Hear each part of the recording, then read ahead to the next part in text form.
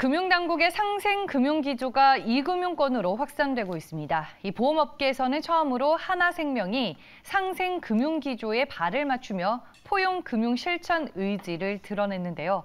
어떤 상생 금융안으로 구성됐는지 김우현 기자가 그 발표 현장을 다녀왔습니다.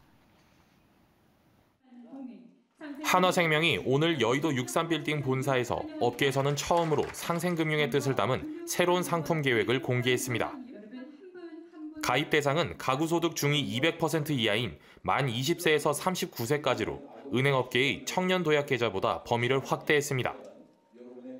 보장금리는 5년간 5%를 기본으로 구상 중이며 보험 기간 내 결혼 또는 출산 시 납입 금액의 일정률을 보너스로 지급해 저출산 문제 해결에도 나선다는 방침입니다. 한화생명은 이러한 구성의 확정금리형 저축보험 상품을 1개월에서 2개월 내에 출시하겠다는 계획입니다.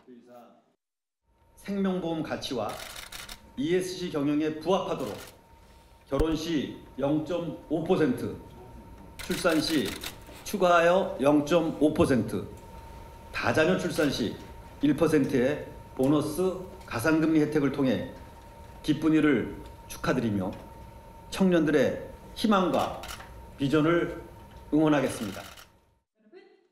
또 취약계층 아동과 청소년을 위한 상생친구 프로젝트도 함께 발표했습니다. 경제적으로 어려운 환경에 있는 이들을 지원하기 위해 국제구호개발 비영리 단체 월드비전, 한국사회복지관협회 등 기관과 함께 상생 프로그램 지원을 추진한다는 계획입니다. 이를 위해 한화생명과 금융감독원은 약 2억 원의 후원금을 월드비전에 전달했습니다. 이복현 금감원장은 포용금융의 일환으로 업계의 사회적 역할을 강조하며 상생금융 기조가 이어져야 한다고 말했습니다. 최근 우리 경제에 어려움이 가중되면서 국민들의 보호망으로서의 보험 산업의 역할이 더욱 중요해지고 있습니다. 따라서 어려운 시기일수록 금융회사들은 스스로만을 챙기기보다는 함께 상생하고 위기를 극복할 수 있는 고민을 해야 된다고 생각합니다. 사회적 기조에 발맞춘 한화생명의 이번 발표가 업계 전역의 상생금융 신호탄이 될 전망입니다. 매일경제TV 김우현입니다.